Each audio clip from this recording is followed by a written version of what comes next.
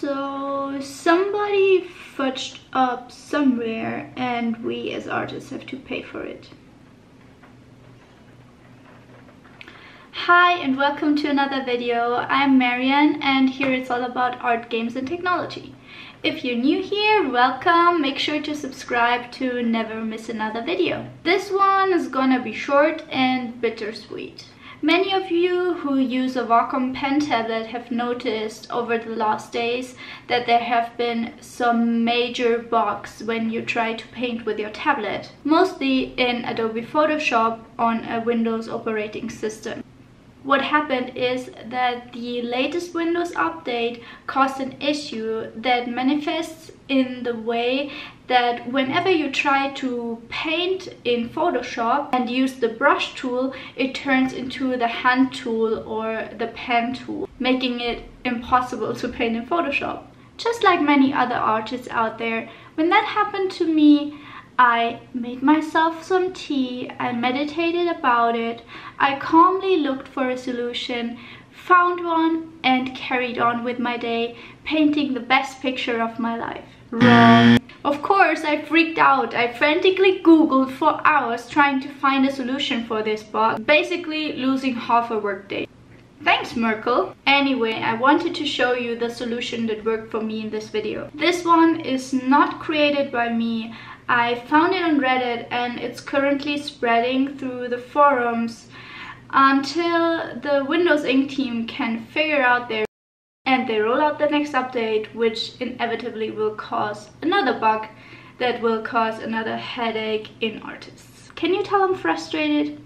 Let's move on. What you can try first is reversing the Windows update and disable automatic updating for Windows. This seems to be successful, but I did not try it since this does not seem like a long-term solution. Girl gotta have her Windows updates that give her that sense of accomplishment that nothing else can. So moving on to the next solution, which works as following. Open the Notepad application to create a text file type in the following text.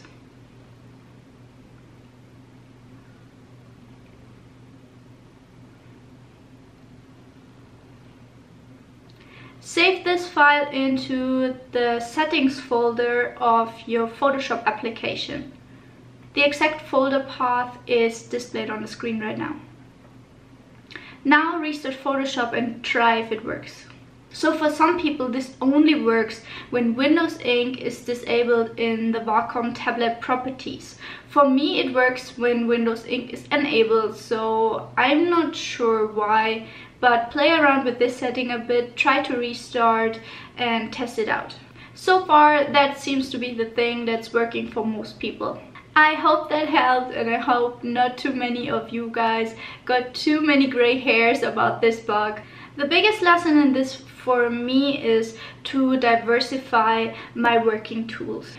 If my Wacom Intuos tablet stops working on my PC and I'm losing a day worth of freelance work, I'm really fudged to be consistent with my swearing here. But I have two mobile tablets. I have the Wacom Mobile Studio Pro, which also seem to have that bug, so yay and I have my iPad Pro. So if everything goes wrong, I can still continue to work. If you are a freelancer, make sure you have first of all backup hardware and second of all backup software because this bug seems to be mostly in Adobe Photoshop and for example not in Clip Studio Paint. So with anything else in life, don't put all your eggs in one bug-ridden basket so you can still do the work you need to do even if the whole system breaks down.